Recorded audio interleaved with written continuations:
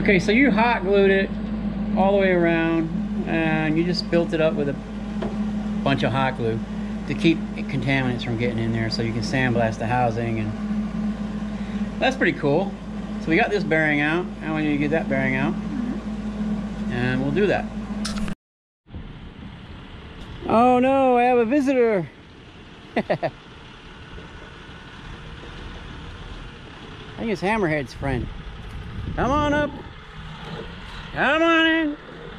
Come visit.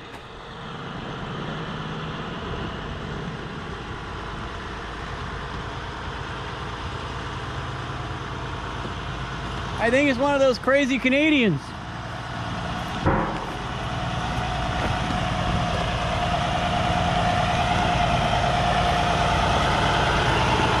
I think I got a crazy Canadian in my driveway.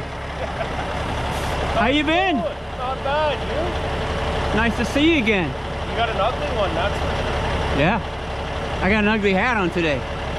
My little pony hat. All right, making a YouTube video on uh, taking apart actuator. Oh. Want to help? All right, let's have some fun. Go ahead and pull all the way up in the driveway. Cut. In 10, 10 minutes, right? It's fun, fucking funny.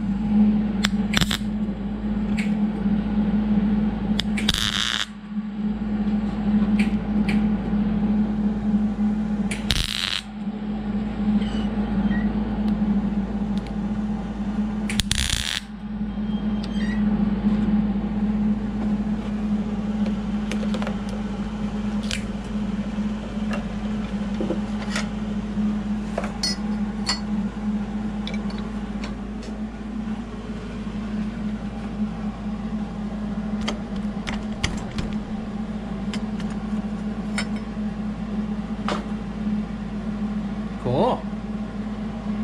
Now both bearings are out. We can uh, take it apart. Finish taking it apart, right? You need to flip it over and take the the coolant clamshell off of it. Yep.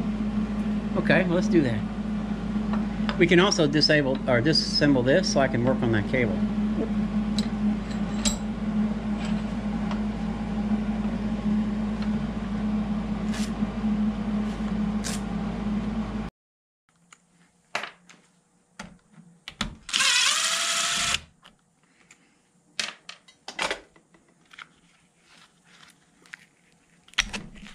Cool. So that thing just comes right out after you uh, starts desoldered.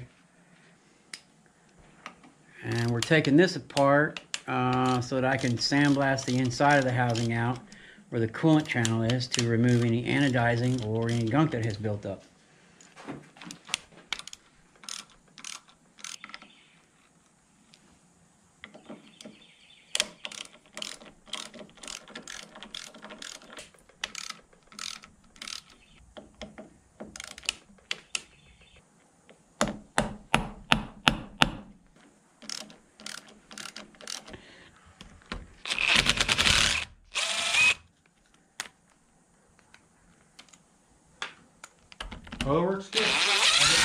I've been to Georgia now. I've been here.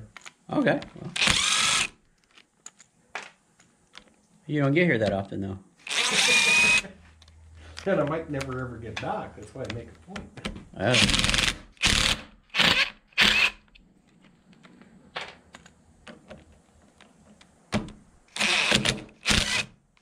Our messy workshop where we took apart a bunch of actuators. No, there was one trip where it didn't come here. Come to think of it. Uh, you were saying sometimes these things don't want to come apart, so you got to grab them under here, under this, under this lip right here. There's a little lip Mm-hmm. right there. You can see it. There's a little place where you can catch it and give it a little. Whoop. But here, uh, When it's together, you can do that too sometimes. yeah, you just press the screwdriver there Ah, and, okay. lift it, and lift it up like that. Okay, so sometimes you can get it there because sometimes you can't get around this corner right here. Okay, Yeah. cool. Okay, it always works like this. okay. That's a different housing. That's not the one we just sandblasted, right? Now, no, it's a different one. I just wanted to show one as Okay. an example. Yeah, you can get a little. I can't believe how Just ease it up, yep. Nice and easy.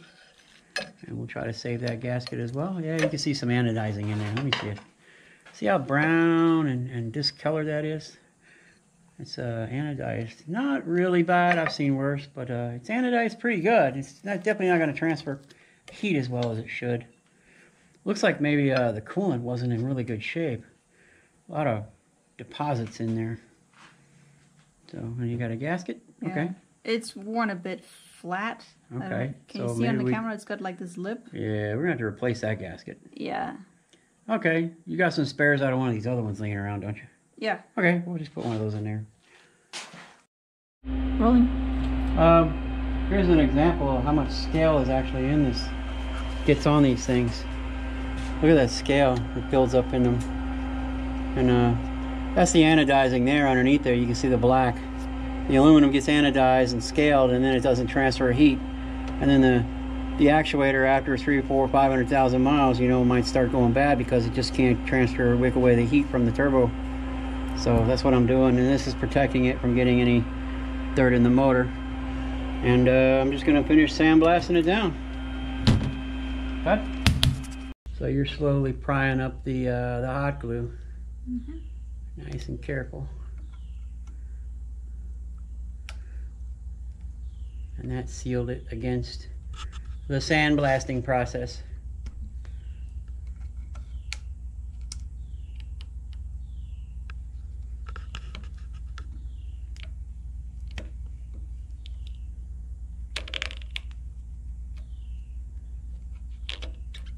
Cool.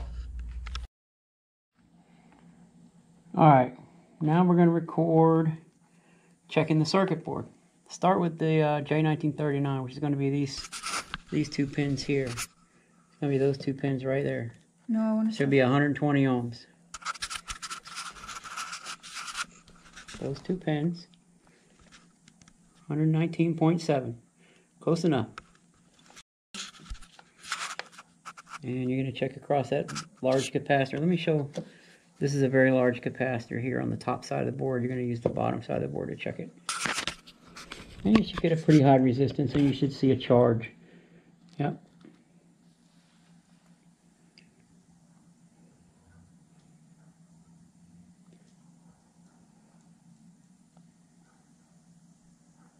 Yep. And that's on the 20,000 ohm scale on the meter. Okay? What else you got? This capacitor here. Going to be on the... Oh, that's the 2 mega ohm resistor. Oh, that was the 2 mega ohm side. Okay. So the large capacitor is almost a mega ohm, 0.97. This one is on the 20,000 ohm resistance scale. And what do you have across there? This black capacitor here, 5.5. That's close enough. 5.7, 5.6 would be probably acceptable. Now you got a capacitor there, and you have some here, you have some here, and what do you got across there? 6.7 kilo ohms. Okay? What do we have next? So this one would probably be the equivalent somewhere here. Yeah, for the uh, other coil, motor coil. And it's 6.7, yep, same.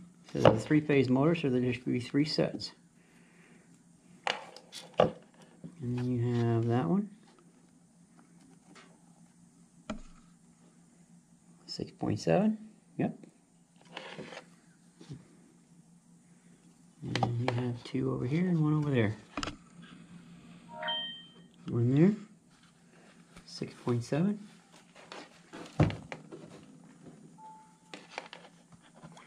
My phone goes crazy. And what do you have here? Same 6.7, yep.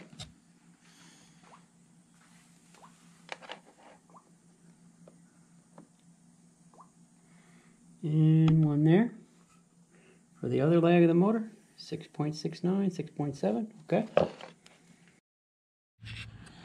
All right, for the power and ground, with the motor and everything disconnected, it's going to be quite high, especially from a meter. So I've got it on the 200 or 2 mega ohm scale again. And this big pad area here is obviously the ground. And this shorter little small square pad is obviously the power. Because these two are the J1939. So that's ground, that's power. And I'm going to watch it here on the meter. And it should be upwards of 340, 330 mega ohms or higher. And you can see that it's slowly climbing. Because what it's doing is it's charging many of the capacitors on the circuit board. But without the motor or any of the devices connected, obviously the resistance is going to be super high. So I would think if you got a very low resistance here and didn't, didn't uh, charge, uh, slowly charge like that, then you would have a bad capacitor or maybe a semiconductor somewhere on the board that's going back. But uh, it all checks out. Rolling? And more anodizing on the inside of this and dried coolant buildup. That's the uh, the coolant chamber. And uh, the threads for the pipe fittings, that looks really good. That looks really good. So we're good to go on the threads. We just need to clean this thing up and uh, get all the anodizing off the inside of it. Cut.